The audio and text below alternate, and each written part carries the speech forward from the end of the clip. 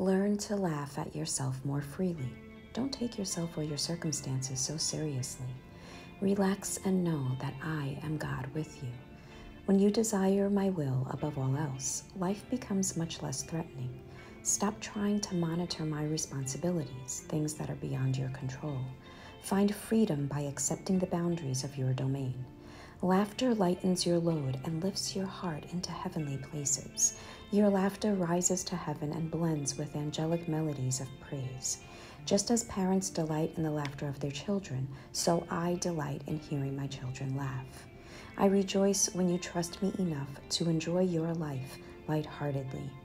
Do not miss the joy of my presence by carrying the weight of the world on your shoulders. Rather, take my yoke upon you and learn from me.